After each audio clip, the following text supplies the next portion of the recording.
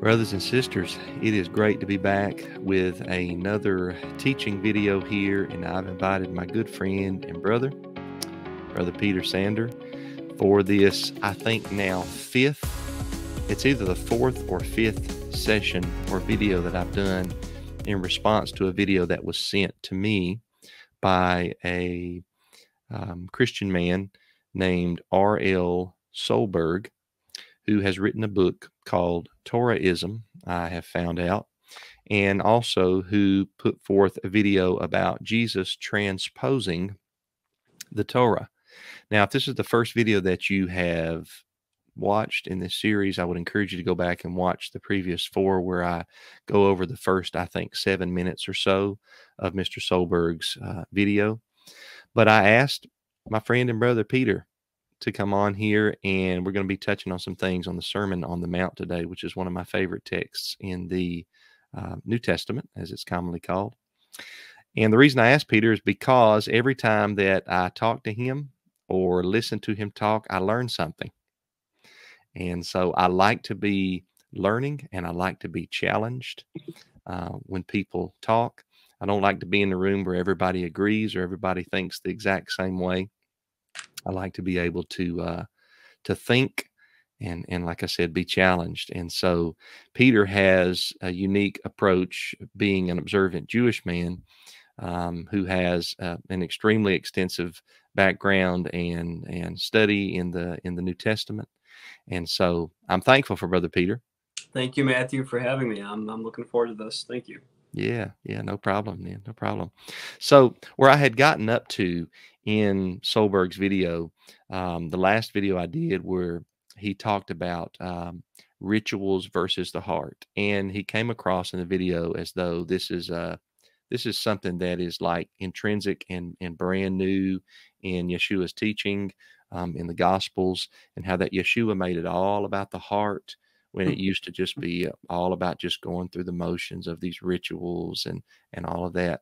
And I tried to show how that rituals are just basically means a divine rite or, or ceremony and that in the in the older covenant in the hebrew scriptures that a ritual is a ritual that the almighty gives to his people is a is a beautiful thing and that the ritual has never meant that it wasn't about the heart and I think this is something that that Christians tend to think. You know, I, I, just talked with somebody yesterday, and they said when I just shared a little bit about Torah with them, they said, "Well, you know, I'm just so glad that Jesus came and died, so that we don't have to do all those things anymore." And you know, I do my best, Peter. I do my best not to get frustrated with with folks, um, and I didn't, thankfully. But you know, I think I just close my eyes, I take a deep breath. I think we have to go all the way back to square one here because that is such a bad way of viewing um, why Yeshua came and a bad way of viewing Hebrew scripture and a bad way of viewing the instructions from the Almighty. You know, I know it's fascinating in, in the West and Western religions, especially that the, those that branched off of the Protestant Reformation uh, mm-hmm. there tends to be a heavy focus on uh, this dualism uh, between this dichotomy, the separation between spirit, like what's in the mind, right, mm-hmm. and and body, what you do in your in your flesh, right, and this the separation is is really it's fundamentally antithetical to the entire purpose of what creation was for. Creation from the beginning was meant to be the dwelling for the Almighty uh, you know, to dwell within the physical creation, to be to be present, to commune with humanity, uh, all within physical parameters, and that's why we affirm a belief in the resurrection of the dead. Uh, we don't think that you know souls go to an eternal, immaterial existence. They yeah. we humans are ultimately reconciled to the Almighty within bodily form. Our bodies matter, right? And so there's this cultural tendency, and especially in Western religions and with Christianity, and it impacts all Western religions within the West here. It impacts Judaism and Islam as well too. It's this tendency to separate, you know, the spirit, thought, mind from from matter, and it just it creates this really artificial dichotomy. I know that you've heard the analogy and you've probably used it. you can't tell your wife, well, I'm faithful to you in my heart, but then physically not be faithful to your wife, right? Um, and th- this way of thinking is really germane to the Protestant traditions. And yes. um, it is interesting to note that within the sacramental traditions, like Roman Catholicism and Eastern Orthodoxy, there's more of a, a, a, of an emphasis on the merger of spirit and matter, right? And uh, Solberg, as a Christian theologian, uh, would do well to learn more from that aspect of that part of the of the Christian tradition. The emphasis there on how ritual and, and, and matter can, can go together and that we don't need to uh, create an artificial dichotomy between ritual and ethics even. We're, we're going to go here very soon but that's one of the fundamental cries of the prophets the hebrew prophets is to uh, maintain ritual with justice mm-hmm. ritual with compassion with chesed you know and that's that's all really really fundamental. When you're talking about that it reminds me of isaiah chapter 1 Isaiah chapter 1, if I'm not mistaken, is um, a rebuke on the house of Israel, the northern kingdom. And Yahweh says, An ox knows his owner, and a donkey uh, his master, but my people do not know my ways. And he goes in and he talks about how that they're spreading their hands forth in prayer, but he's not going to listen. He even uses some really staunch language like, um, I hate your new moons. I hate your Sabbaths. Um, away with your convocations. Um, I'm not going to show up at them. When you offer incense to me, um, I'm not going to smell the incense. Uh, and a lot of people, I mean, I've heard this passage used like, for example, in some of the quote unquote early church fathers, I think it might be Barnabas. I could be wrong on that, so don't anybody quote me on that. But it's one of the early church fathers uses this text to to say that you know he's he's doing away with the with the Sabbaths and the feasts and and all of that. And then of course I've heard some in the the Hebrew roots community say, well, he's talking about your new moons and, and your Sabbaths, which are like pagan feasts and things like that. But I think if we slow down and look at the context, um, Yahweh is not condemning the rituals of the Israelites wholesale. He's condemning their emphasis on externals while they neglect uh, more weightier matters, some of them internal and, and some of them still external, like in regards to the taking care of widows and the taking care of fatherless children. And uh, that's why he says later in the text that your hands are, are full of blood. Peter, is that how you see that text, or what's your understanding of Isaiah yeah, 1? Precisely. If, if we were to take the text the way the early church fathers that you mentioned referred to, I think Justin Martyr might be the earliest. I mean, maybe maybe Barnabas as well too, but I know Justin Martyr uses this, and he uses this to say that God no longer accepts that the Almighty the Almighty no longer accepts the Sabbath, that He no longer accepts the observance of the commanded uh, times in, in, in the Torah, Mm-hmm. And uh, but if you take that literally, then it, it, the Almighty is also telling us not to pray, not to spread our hands in prayer. Um, and right, it wasn't a matter of, of, of, of these things being bad. It was a matter of the right priority of ethics and justice and compassion. So exactly what you said there. Cool. Yeah, I'm glad we agree on that. So Peter and I, we were just talking before we hit the record button. We, we haven't rehearsed. We haven't talked about what we're going to talk about. I kind of like it like that though. That way, you know, if Peter comes up with something that I haven't heard before, or maybe that we even disagree in a minute way on, we can kind of talk about it and go back and forth. So I I, I welcome uh, courteous and cordial disagreement. I, I love that. Yeah, but I like when we can agree too, Peter. Yeah. Me too. so let me start the stream here. I'm going to add Mr. Solberg to the stream. This is right after he talks about the rituals and he's going to get into the Sermon on the Mount. Let me make a point here to to our listeners that uh, myself and and Peter in no way we're not doing this to try to demean Mr. Solberg. Uh, he seems like a very nice Christian gentleman. I have contacted him through email. I went to his website, got on his contact page, told him that I was responding to his video, and you know told him I'd be more than willing to have a discussion um, on camera with him in regards to this. So I think that his his understanding and um, way of viewing certain texts of Scripture is incorrect. Uh, that has nothing to do with with me uh, talking bad about him as a person. So I just wanted to kind of continue to make that disclaimer that I've mentioned in, in previous videos before we start here. All right, here we go. But rituals aren't the point of God's law. And so we see this pattern in Yeshua's teaching that that transposes God's law from the external to the internal. It's probably most explicitly stated in the Sermon on the Mount. Uh, Peter, I got to stop here real quick. so you, you kind of see, he says, we see this pattern in Yeshua's teaching that transposes, and he he in his early in his video he mentioned transposing like uh, music. He's a musician. I'm a musician. I talked about that in my first video, but from the external to the internal. So it insinuates whether or not he directly says it here or not. I think we see this in some of his other videos as well, but it insinuates that God's law used to be external mm-hmm. and now it's internal. Right. Right. And I think that's a that's a misunderstanding, right? I mean, you the foundation is off right there at, at the beginning because God's law has always been both about the internal and the external. A text that comes to my mind is in Matthew 23, uh, which is arguably Yeshua's strongest rebuke um, of anyone. But there he's talking to a group of uh, scribes and Pharisees, and he says towards the latter portion of that chapter, first clean the inside of the cup, that the outside may come clean as well. So there's the internal, internal to the external.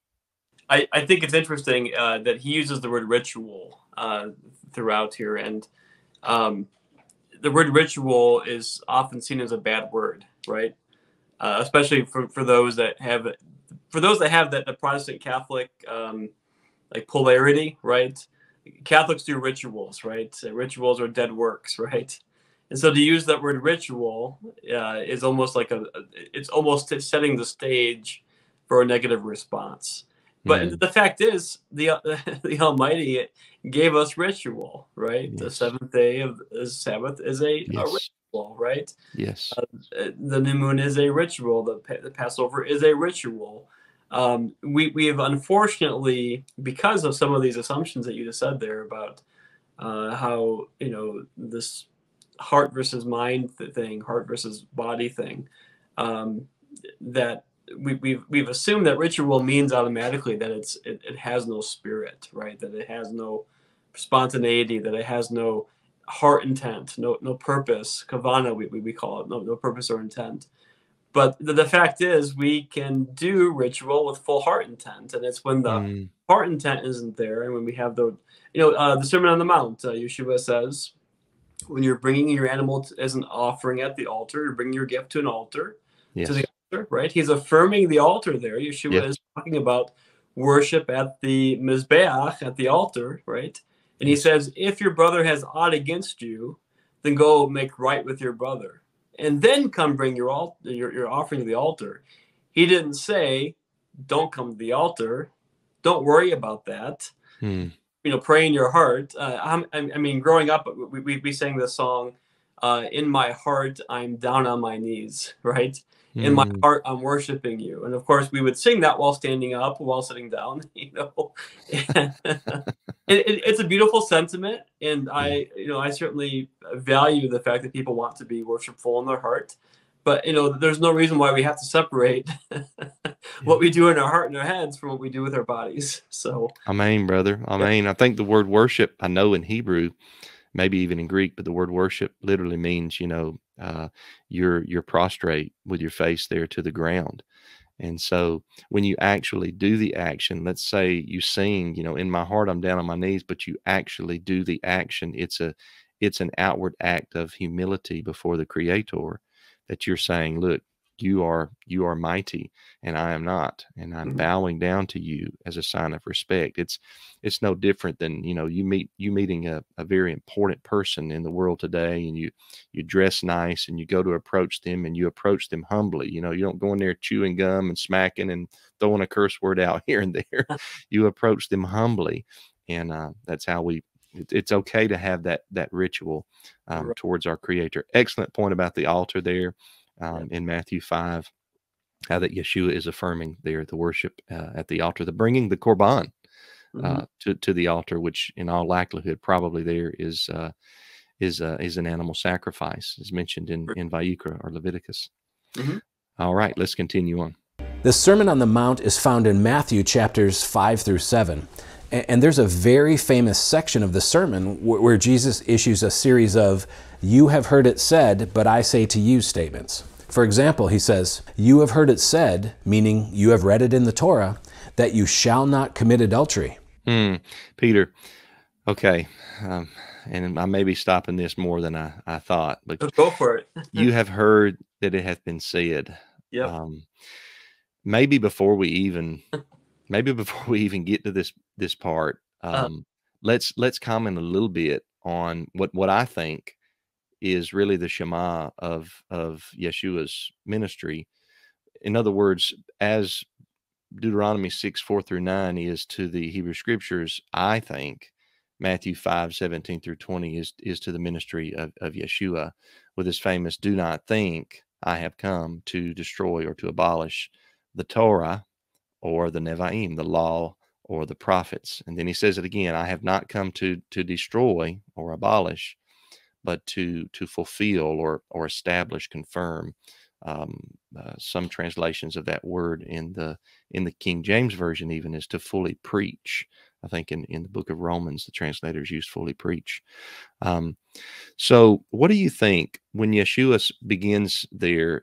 Kind of he's before he gets into the "you have heard that hath been said," but I say unto you in Matthew five seventeen. What's your understanding of "I have not come to abolish, but but to fulfill"? How do you view that? Yeah, it's it's a very it's a very strong statement. It's one of the strongest statements we have in Jewish literature about the uh, the eternality of Torah. quite quite Yes, honestly. yes, Um, I, I, if, and obviously, you know, as we keep reading those verses, uh, he goes into a very practical application of that. You know, if, if he was, if he was trying to say that I did not come to abolish, but to fulfill, as in to, lay aside, but then he goes on to say that whoever keeps and teaches others to do the least of these commandments shall be called greatest in the kingdom of the heavens, the kingdom of Yes. God.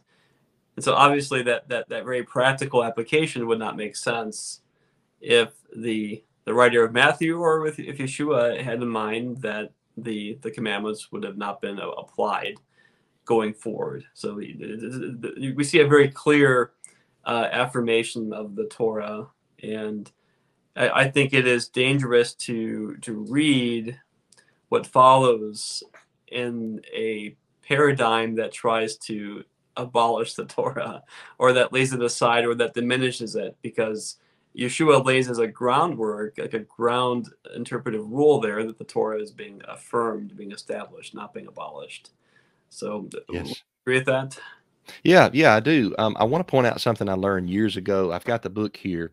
This is by the author David Bivin. Have you, Yep. have you ever heard of this? Or you Oh, may yeah. have it in your library. Yep, it's in my So- life. Yeah. So David Bivin, uh, I'll read from the back here. It says he's the founder and editor, Jerusalem Perspective in Jerusalem, Israel, a lifelong scholar of the Jewish background of the Gospels.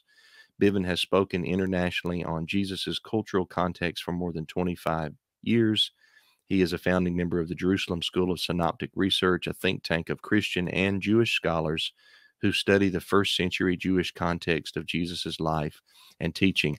Highly recommend for our viewers to pick up a copy of this book on Amazon. Uh, it's very inexpensive, but it's worth its weight in gold. And David Bivin brings up in here, I learned this, I don't know, maybe 15, 20 years ago, but he brings up in the book how that the terminology um, among rabbis in the first century Jewish faith, which Yeshua wasn't the only rabbi. There were various rabbis with disciples uh, that existed there in the first century. Um, he said that they would discuss Torah, and in their discussions, in their back and forth of the study of the Torah, if one of the rabbis said something that the other one disagreed with, they might would say in Hebrew, obviously, but they might would say something like, no, you have destroyed the Torah. You have abolished the Torah with that understanding. Let me tell you the proper way to understand that. Uh, likewise, if a rabbi would um, interpret the Torah properly and the rabbi sitting next to him, he liked that interpretation, that understanding, and he thought it was it squared with what the Creator had initially intended and said, he would say, Ah, you have fulfilled the Torah. And I think that that is a beautiful or or the the way, but it is a beautiful way to understand what Yeshua is is driving at in his the rest of the fifth chapter of Matthew, where he has these, you've heard that it hath been said, but I say unto you. Now, Mr. Solberg said when Yeshua said, You've heard that it hath been said, he said, meaning it is written in the Torah. And I don't think that that's completely accurate because if Yeshua wants to say it is written, he says it is written. And we just have to back up one chapter in Matthew, Matthew chapter four, where he's having this disputation with the adversary. And, uh, you know, the devil says, If thou be the Son of God, command these stones to turn into bread. Uh, probably because he knew Yeshua had been fasting for 40 days. He was hungry. And Yeshua responded with a scripture from Devarim. He says, It is written. And then he quotes Devarim, what we call Devarim 8, verse 3. He doesn't say, You have heard that it hath been said, right? So there's a reason why he says, You have heard that hath been said in this uh, first example that Mr. Solberg gives. Get, uh, comment on that a little bit, Peter. No, I think that's a very likely way to apply it and, and, and understand it. Yeah, i am familiar with that with that section in Bivin. In fact, I almost brought it today. I was, I was thinking about about bringing that. Uh, I didn't do any preparation, but that was the one one thought I had was to bring that quote. So cool. I wanted to vet it in the sources, and I m- my guess is that the word for established there is the word for stand, uh, omedet to, to make firm the stand or koyam. Mm-hmm. And uh, that's probably the word that would have been used there by Yeshua as well in the, in, in the Aramaic or the Hebrew. Uh, sure. Uh, to stand something, to establish something is most likely what he was what he was saying there. How do mm-hmm. you understand verse twenty?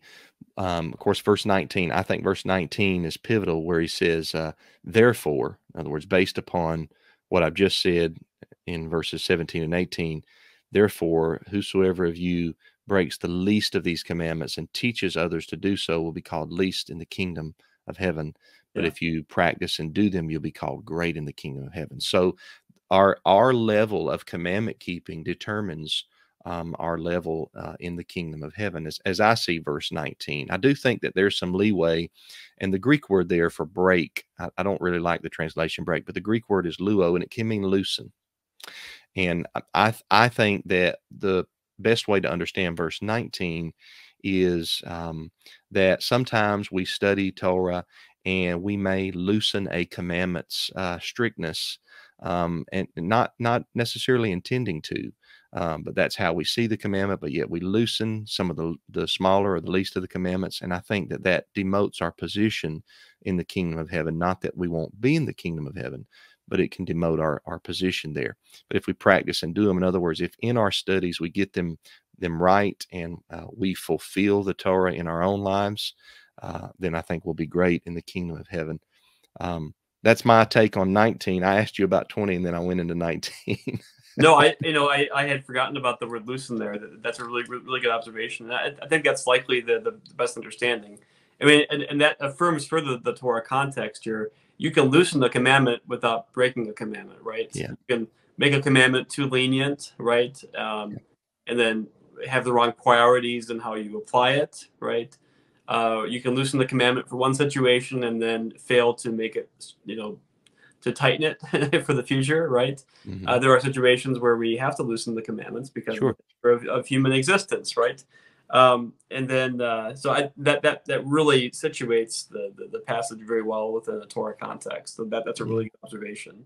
So yeah, some something else too. And I know I asked you about twenty, but I think that this is needed as well because a lot of people I talk to in Christianity will say that you know, well, Jesus fulfilled the law. We don't believe he he abolished it, but he he fulfilled it. And then, of course, when they continue on, you see that their their understanding of him fulfilling it means we don't have to do it anymore. so he really abolished it through fulfilling it. But in the previous verses in Matthew uh, 5 1 through 16, if you'll notice, the context is not about Yeshua's obedience to the Torah. Now, I believe Yeshua was obedient to the Torah, but the context is him teaching the disciples, people that are listening to him and wanting to learn under his teaching. He says, um, you know, blessed are you when men shall revile you. Uh, blessed are the meek. Um, uh, blessed are the pure in heart. Uh, you are the salt of the earth. You are the light of the world. Uh, let your light shine among men so that others see your good works. So it's all about people who are listening to him, their obedience. And then on the heels of that, he says, Do not think that I came. Do not, do not think my purpose is to come and destroy the Torah through through misinterpretation. I've not come to do that. I've come to show you properly how to walk it out. Uh, I think that's important that we see that. That's very good. I like that. Excellent. Yeah. So in verse 20, my initial question, he verse- says in 20, unless your righteousness surpass or exceed the scribes and Pharisees, you will in no wise enter the kingdom of heaven. How do you understand that verse? There is a really interesting tradition of translation in the New Testament from the Greek uh, dikaiosune or uh, it, it, it's often translated as, as righteousness. And the problem with that translation is that righteousness, again, within our cultural connotations, connotes the idea of acts of private piety. Okay. Mm. Where the word is indistinguishable in both Hebrew uses and Greek uses from justice. Okay. So, and I've not been I've not been able to vet this story. It's it's sort of apocryphal, but I've I've heard it said that when the King James translators were translating the New Testament, they came across this word for righteousness, dikaiosune, that they translated it as justice. And the apocryphal mm. story was that King James didn't like that because the word justice had public accountability. Uh, it had connotations of public accountability, right? Hmm. Righteousness is in the, the typical Christian Western tradition. I'm sorry, I keep referring to this, but this is very much a part of how we read the scriptures in the Western tradition, righteousness again connotes the idea of acts of piety. Okay, you go into your prayer closet, you pray in private, you give money in private. You know, just acts of piety. Okay, where justice is an act of public piety. Okay, and so what, what I think what, I think is being referred to here is most likely because Yeshua focuses so much on matters of justice throughout the book of Matthew, um, mm. the priority of the commandments you referred to Matthew 23, a, a chapter that's very rich in meaning that is very much informed by, by later Jewish writings. Uh, some of the the disputes he was referring to there are very much evidenced uh, in, in, the rabbinic writings, for example. But what Yeshua is is giving a, a, call as a call, a prophetic call to justice and mercy uh, as as foremost, and that's very clear mm-hmm. throughout his, his teaching. And sometimes that's mistaken, like by Solberg, it appears to be mistaking this as a transposing of justice and mercy over ritual. yeah. Um, but it's the merger of the two. I mean, if if the the idea is that Yeshua rose from the dead rose from the dead as a physical being, okay, then that's an affirmation of the importance of physicality. Okay? Mm, mm, we, good point. We, we can't walk the, the Christian tradition cannot walk away from from ritual, okay, at the same time that it affirms the resurrection because it's it's ritual is what we do with our bodies to match what happens in our spirit and our mind. So um, mm. I'll stop there for a second. Any thoughts on Matthew five twenty? Um. Oh man, I, this is why I wanted you on. So those that was great. That was wonderful. I'm I'm listening. I'm trying to understand.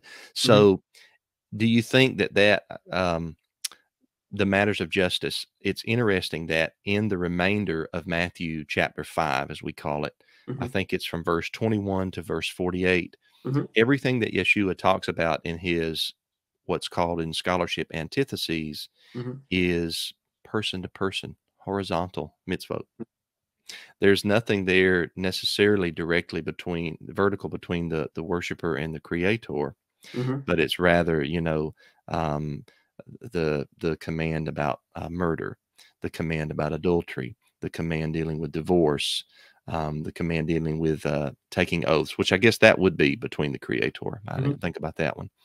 Um, and then the final two would deal person to person again. Um, so that mostly that those would be matters of, of justice in, in that regard. and I guess you could even you know fit taking of oaths uh, in, in there as well. Um, when he says exceed or surpass scribes and Pharisees, how do you understand that? Unless you're justice, yeah. let's say, exceed or surpass. Yeah, and I appreciate I appreciate the question. And, and, again, I would emphasize that the word justice should be used here versus righteousness. Okay. I think it's important to understand how how, how radical this statement is. Mm-hmm. Who, were the good guys on the playing field in the first century? Mm. Who were the the advocates of Bible study? Who are the advocates of personal Bible study? Who are the advocates of personal prayer and personal piety and living a, a life of devotion to, to God? The Pharisees. Sure. Pharisees. They were the ones that were trying to take the Torah away from the priestly aristocrats and bring it into the hands of the, the, the plebeians, of the of the common people. They were trying to raise the holiness, the kedusha of the common people up to the level of the temple, sometimes to a fault. They sometimes erred in that way. They were called parashim because they were separatists. They emphasized keeping holiness around the table, ritual cleanness around the table. Um, and but they were the good guys on the scene in the first century, and it's so important to understand how how true that is because it's so shocking when Yeshua says things like this. I mean, he's he's taking the good people, okay, and he's saying unless your justice exceeds that, okay, then etc. Or even in the book of Matthew. And of course, within the Pharisees, there was incredible diversity of opinion so on, and a lot of that gets recorded later. Um, in fact, what's fascinating with the New Testament, it often provides the earliest written documentation we have of some of these disputes that we don't know about until far later. So right, right. Um, so I, I so I think the shock value here is huge and the Sermon on the Mount does that. It does this shock value all throughout. And I think sometimes this shock value is used as a license to dismiss what's being compared. So I think that that's a trap that is fallen into with these, uh, like Isaiah chapter one, shock value. Yes. Don't, don't pray. Don't pray to me anymore. don't do the Sabbath anymore. Okay. Don't make the offerings anymore. Obviously, the Almighty wanted the prayers, wanted the Sabbaths, wanted the offerings, yes. but He wanted it done in a justice context. So the shock value is is, it should not be canceling out what's there. Yes. So Yeshua is, is affirming. I mean, he didn't focus on an obscure sect in the desert of Qumran. He focused on the ones that were known to be the advocates.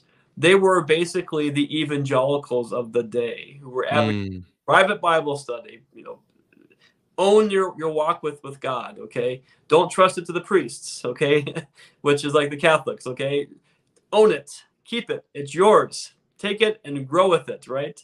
And uh, so, I mean, it's it's it's like that. It's it's radical. It's, it's it's startling, and it should be. And sometimes I think we've toned down how startling it is because I'm sorry, I'm getting off on a tangent. I'll stop here. But sometimes we, have we've, we've toned it down because the Pharisees had become the, the, the perpetual bad guys. Um, so anyway, that's a different discussion. so. Yeah, no, it's good. I mean, I don't think that Yeshua would be telling you that you need to surpass somebody that wasn't living strictly. Mm-hmm.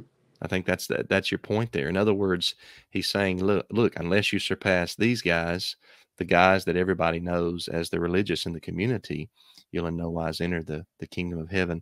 I think we need to keep in mind too, and you you alluded to this. There's um, I think in one particular book that I have, uh, historical book on first century Judaism, there's different types of Pharisees. There's the school of Shammai, the school of Hillel. They didn't always agree on everything, and that some Pharisees did follow Yeshua. Uh, uh, the ones that we call Nicodemus or Joseph of Arimathea. Um, so, uh, anyhow, that's that's mm-hmm. that's something to throw throw in there as well. So let's see what else he says here in this Sermon on the Mount section. Uh, he's talking about Matthew 5 27 through 28 and the adultery clause. I mean, that's one of the big 10. And then he says, But I say to you that everyone who looks at a woman with lustful intent has already committed adultery with her in his heart. So, what's Jesus doing here? Is he abolishing the Torah command about adultery? No. Is he changing it? Not at all. Is he is he elevating it and, and making it even more difficult to keep? Sure, I think we could say that. Mm, Peter. Mm-hmm. okay. okay. So um, I like that he says no, he's not abolishing it. Um, but then at the end where he says, is he elevating it, making it more difficult to keep? Um, I have a problem with that. And the first thing that my mind goes to when I think about Yeshua saying, you know, whoever looks upon a woman to lust after her in his heart has already committed adultery. Obviously, he's not talking about you've committed the physical act, but he's saying you've committed it on the internal, right? Um, my mind goes, the first thing my mind goes to is the 10th commandment. The 10th commandment says, do not covet and, and your neighbors, and, and it lists several things that belong to your to your male neighbor. And one of the things is do not covet your neighbor's wife. That's coveting is an internal uh, sin. So that if, you know, if Peter and I are, you know, riding down the road and I see this, um, you know, beautiful homestead or whatever, and and I lust or desire after that in a jealous way, and I'm and I'm angry with my neighbors because they have it and I don't that's a that's a form of coveting something that belongs to my neighbor and peter may not ever even know that that took place in my mind and my heart. Mm. so this is a commandment that can only be broken on the internal. Um, now obviously it leads to external things but what this shows in the 10th commandment in both exodus 20 and deuteronomy 5 that yeshua is not introducing any new law here in matthew 5 27 through 28 when he says whosoever looketh upon a woman to, to lust after in his in his heart. Is that kind of how you see that as well, Peter? Absolutely. I, I yeah, I, I completely agree. I don't see him elevating the, the Torah to what to anywhere it wasn't already. It, yeah. The Torah already already already had this in it.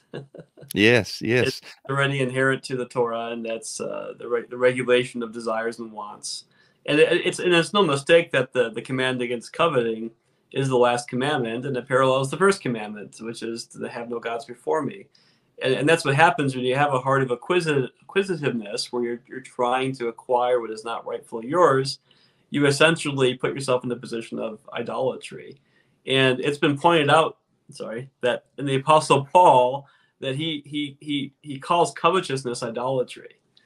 And there's a reason for that because it goes right to the heart of the commandment. And so mm. there are hmm. multiple ways to unpack the the heart of the commandments and yeshua is doing one of those ways here right now. And it's a it's an impactful way it's an important way. Now if now if however uh, you you do desire something in your heart that's not yours uh, that's happening between you you and god. It's it's, it's happening between it's in, in your own heart.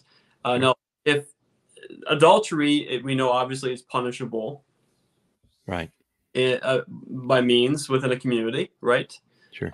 Um, but if a person has a heart condition, uh, unless there's action that follows it, it doesn't fall under the witness criteria, etc. So right. certainly, yes, it is. It is a serious, serious offense, especially if fanned into, into flame and maintained. But it doesn't fall under the, the, the literal prohibition that can that can be uh, acted upon by by a community. Correct. So, yeah. Yes, I think Yeshua is saying, look, this is where adultery begins. You know, nobody just um, immediately one minute is not committing adultery and then the next minute is. It's it's something that usually takes place over a period of time, where there's uh, a lustful, um, uh, unholy desire for another man's wife, and then there's a friendship that's born, and then inappropriate talk and things like that, and eventually it can lead to to adultery. And Yeshua is saying, look, uh, cut that thing off, nip that thing off right there in the heart uh, before it begins to to wail up. Um, he's not though, and I've gotten trouble with some of my Christian friends by saying this. I don't think he's equating heart adultery with physical adultery.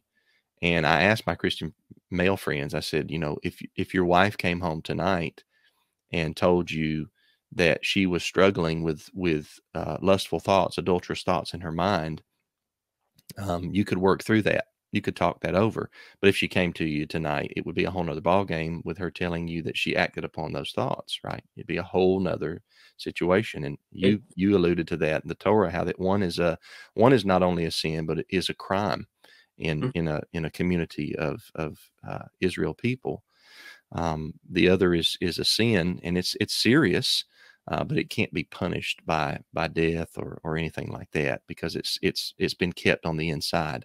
It's something that we need to deal with, um, and and that's what Yeshua is saying. So he's kind of, would you say he's kind of he's kind of peeling back a layer of the Torah here that might have been forgotten by some in the first century, where that they were they were obeying the the literalness of the command to not physically lay with their neighbor's wife, um, but maybe they were not placing the emphasis on lusting after their neighbor's wife anymore. Sure, it, it's a reminder that that every individual needs on a frequent basis. So, I mean, at any point in history, this could have been said, and it still applies. sure, sure. So, I, I think sometimes we uh, focus on the the errors that were occurring. Well, I think this is always relevant. You know, it's always relevant. yeah. Do you think too? I heard one uh, guy I was talking to one time.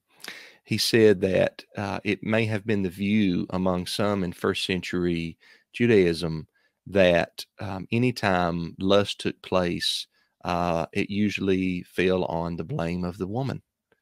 Um, and that Yeshua may have been challenging that in that obviously we believe women should dress modestly and men should as well. Um, but there may have been men uh, in the community that anytime it was found out that they had been lusting, they automatically tried to justify themselves and turn it right back around on, on the woman. Well, she wasn't covered properly, or she wasn't wearing this or wearing that and Yeshua may have been challenging that understanding. What do you think about that? That's a great thought, and I like that thought because we see that even today. How often do we see people blaming um, blaming others for their own their own? You know, we have to own our own our own offenses, right? Yeah. And yeah. we can blame. I mean, I see this in Christian communities and Jewish communities. Uh, the idea that the the uh, the that the that modesty uh, somehow is the only source of, of lustful thoughts, and therefore it's all the responsibility of the woman to control man's thoughts. No, mm. man, you're responsible for controlling your thoughts. Whether or not the woman is dressed modestly or not, you are responsible for controlling your own thoughts. That's a good thought here, actually. I like that because it does go against that abuse.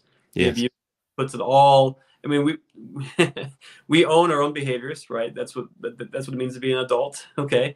But when we transfer the blame to somebody else, uh, that mm-hmm. becomes an abuse, and I think that's a good good point here with this. I could see that being being very relevant again, even today. So, amen, amen. All right, let's get back to it. The last thing he said was he believed that Jesus elevated the law to its strictness. Let's uh, remind our minds of that. And Peter and I are saying, no, we, we don't agree with that. Um, I don't think Yeshua added any new law in, in Matthew 5. I think he's just peeling back layers of Torah that people, uh, some people in the community had neglected. Um, let's see what he says uh, next. But more importantly, he's locating it in its ultimate setting, the human heart. He's reframing the Torah command from the external physical act of adultery, which of course is still wrong, hmm. to the inward heart act of lust, which is at the root of adultery. He does the same thing with murder. Okay, before we go on to murder, Peter, mm-hmm. it's uh, he he makes a great point here, um, and I think we need to keep it in mind that he says I don't like the terminology he says about elevating, but he does point out how that just because um, Yeshua is focusing on um, the internal, uh, he is not negating the external. He said, um, he speaks of the physical act of adultery still being wrong. And this is important, brothers and sisters. Listen, this is important because this is foundational for the rest of the antitheses in Matthew 5. So, whenever he says, You've heard that, that hath been said, and he quotes a portion from the Torah, he's never negating the the letter of the law. Sometimes we we use that phrase, letter of the law, as some kind of uh, bad, negative phrase. But the letter of the law, do not commit adultery, still stands. Um, even though Yeshua is saying, But I say unto you, spirit or intent of the law. And spirit of the law is not some kind of esoteric thing floating around that we can't, you know, grab a hold to. Spirit of the law oftentimes means the intention, the purpose, uh, the meaning of, of the Torah in that regard. It's very important that we understand. Solberg agrees the letter of the law is not being abolished here in this text. You point out that all the uh, the antithesis, antithesis here with Yeshua mm-hmm. relate to interpersonal relationships, right? They all relate to how we relate to our neighbor, right? Even the oaths has to has to do with interpersonal mm. relationships, right? Um, and what's fascinating with that is when, when you look at when you look at what you at what Yeshua is teaching here, for example, he talks about uh, turning the other cheek. For example, okay, uh, when when you run a society, if you're running a nation by by Torah,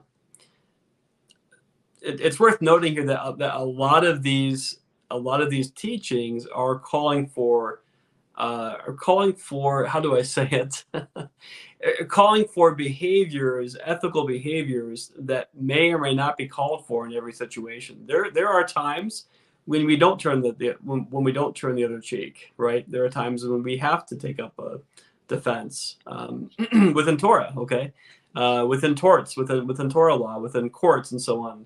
Um, so it, it's it's worth noting that you, the placement of, of, of, these values, what we call midoth and, and values, yeah. um, within Torah, are not necessarily the same thing as the application of how we apply Torah as a nation. This is really very much discussing interpersonal relationships. So, for example, somebody somebody wrongs me, I could take them to court. I could sue them for the money they owe me. Okay, or you know, I could I could forgive them in the right situation. So it's it's essentially like Yeshua is is calling for a higher level of compassion and justice, right? Uh, but he's not negating the fact that you can still sue somebody for for for harm for damages. Okay, so it's I'm not quite sure how to explain that, uh, but it it does appear to be happening here that Yeshua is you know he's, he's affirming that, that these systems exist, but here's a way that you can you can fine tune your your interpersonal behaviors. Okay. Yes.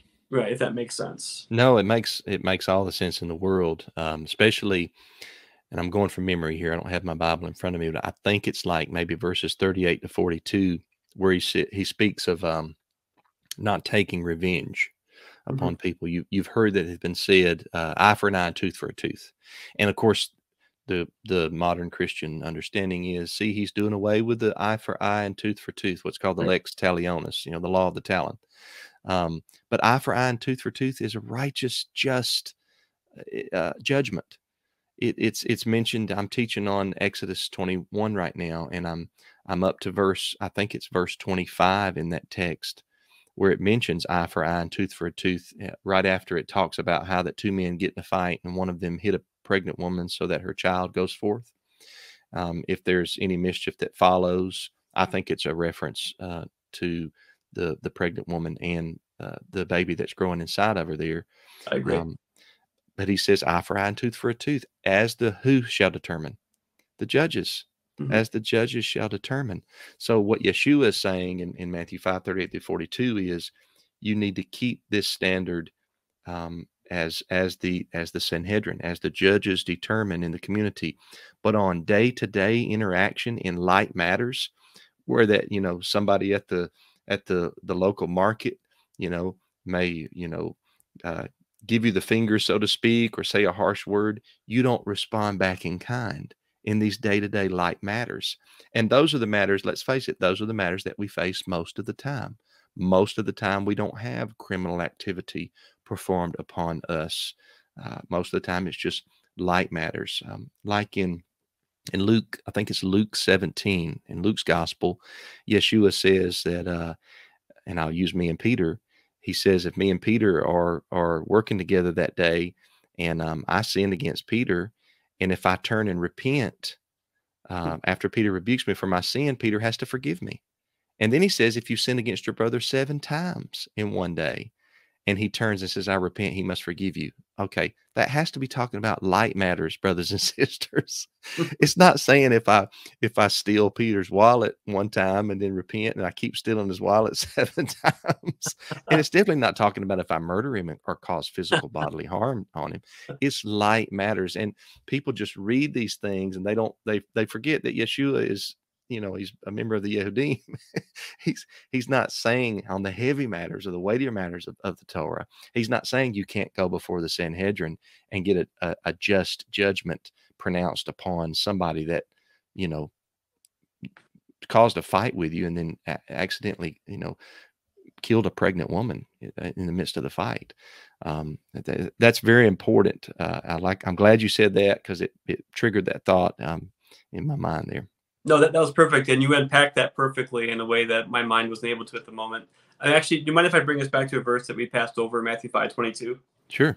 It's really interesting here. Matthew 5 22, a number of times in the book of Matthew, uh, Yeshua refers to the escalation of justice matters. Right. First, you you you bring two, you know two witnesses, which is a court of two or three, and then you bring it to the the the council. Okay. And there's something happening here in Matthew 5:22 that just dovetails perfectly with what you're saying.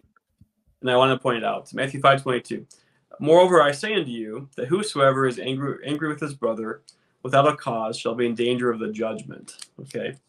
Goes on to say here, and whosoever shall say to his brother Raca shall be in danger of the council. The Greek there is Sanhedrin. Mm-hmm. But whoever shall say that you fool shall be in danger of Gehenna or the, the, the destruction, the hellfire. Mm-hmm. So you see judgments, you see council, the Sanhedrin, and you see uh, uh, Gehenna, okay? And hold my fingers up correctly there, okay? Um, the, the reference to judgment is actually, this is referring to the escalation process. The judgment is a court of three, okay? And the, the Sanhedrin is a court of 23, which is the minimum requirement required size court to execute matters of, of capital cases. Okay. Mm-hmm, mm-hmm. And then it goes on from there to say, uh, if it goes further, then, it, then, then the justice is God's. Basically, it's saying that, you know, yes, there's justice here in this earth. There, there's the, the, the, court of three, the court of 23, the, the, the Sanhedrin, which can carry out a capital case. And then you have Gehenna. Basically, that's when God is, is going to judge. And there are matters of justice that we can't we can't achieve the majority of majority of matters of justice are not settled here in this age. They're, they're settled with with the Almighty. Um, right. But part of what's significant here too is that I mean he's obviously using hyperbolic language. You know, if I call my brother, if I'm angry with my brother, I can't be brought to um, to a court of three to be tried. Uh, it's it's it's speaking hyper, hyper with hyperbole. Um, if I act out against my brother, then yes, I can be brought to it to a court of three or twenty three, etc. Um, I wanted to point that out because of justice matters. She was teaching very clearly that we are to trust justice matters ultimately to the Almighty, and Gehenna is one of the places in which justice is settled. Unfortunately, ultimately for for, for many, um, but and that is even though we have a, a justice system that was given to us by Torah, uh, that does not settle all matters of justice. That's um, right. So, sorry, that, that, that, dovetails with what you were saying there. I see this theme uh, developing more in the Sermon on the Mount here as we're talking about this.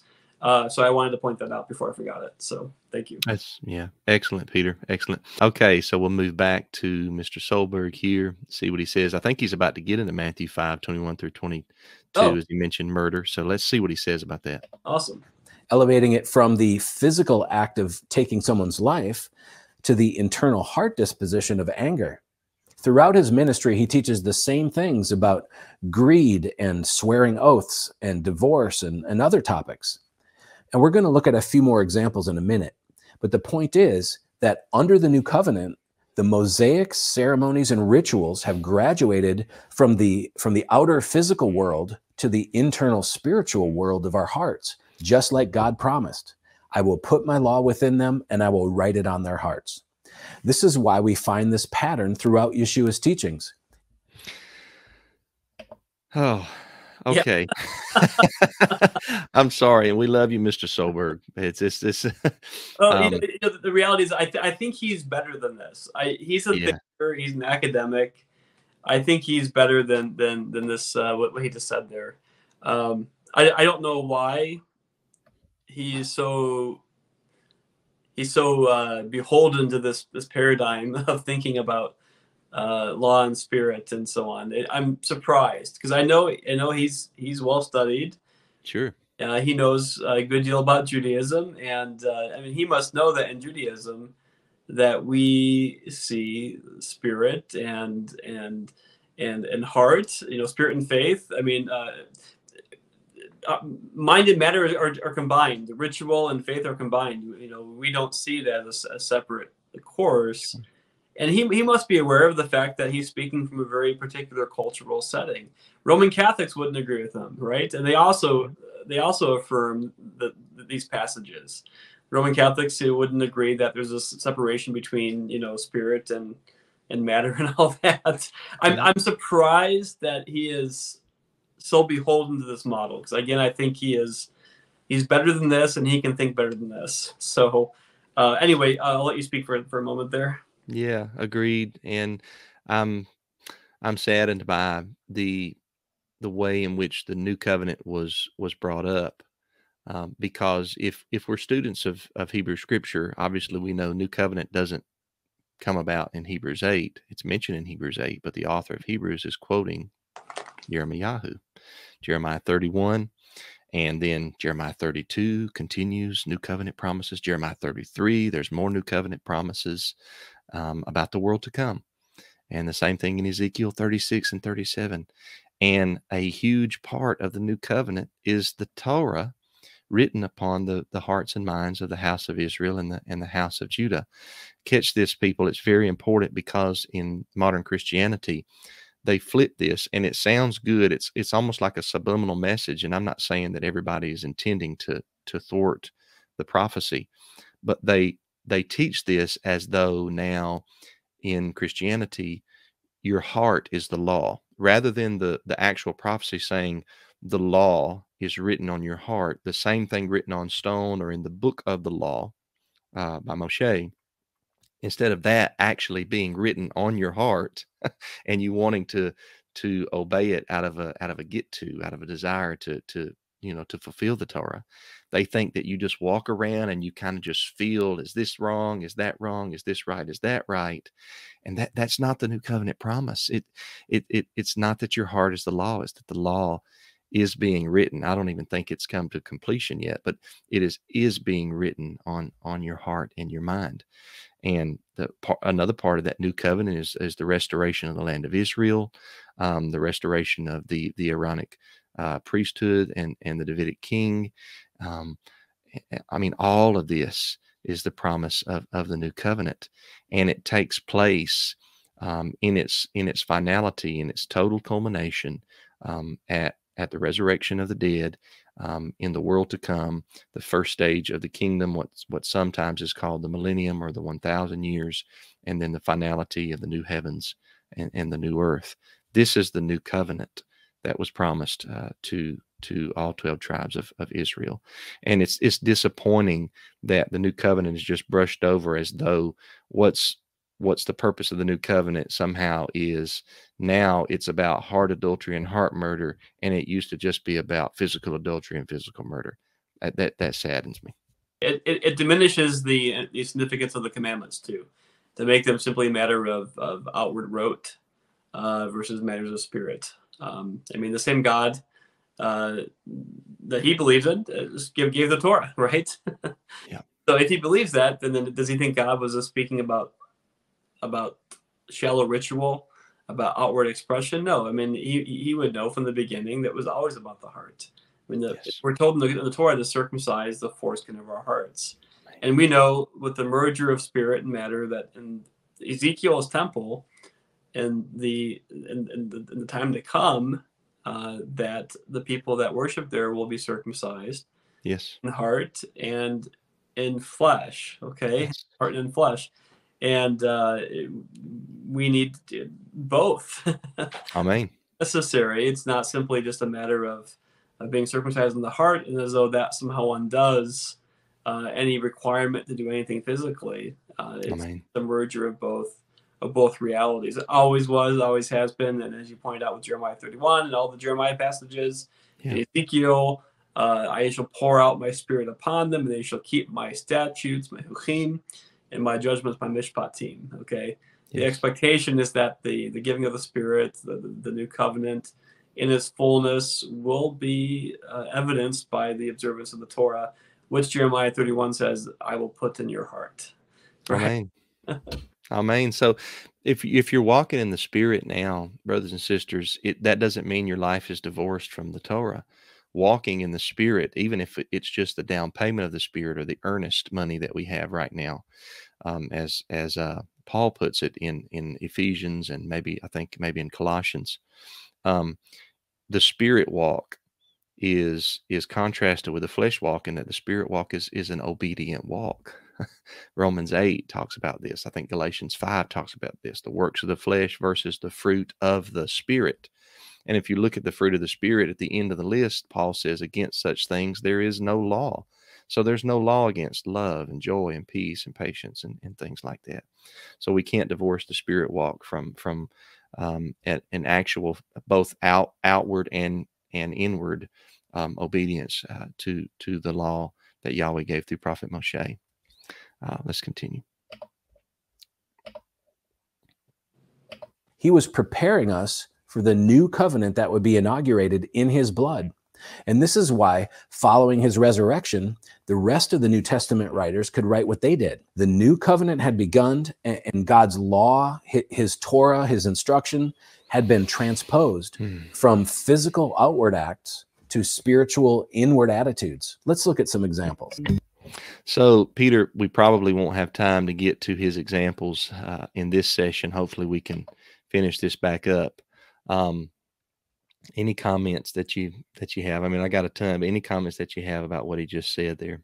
Um, I mean, I would default back to what I said. I'm I'm, I'm surprised that he's he's he's, he's in this dichotomy, this polarity with spirit and matter, and uh, you know, ritual versus versus principles and so on. But go ahead. I'd, I'd like to hear your, your thoughts. I agree with you. I think um, I think we've we've already responded to to kind of how he summarized everything. I was just thinking as he was talking, you know, we say the Shema around here in my in my home and in our congregation. We we recite it every every Shabbat, um, every new moon, and part of the Shema is these words I am giving you today are to be in your heart. I mean, I mean, this is this is this is Torah. It's never been divorced from the internal.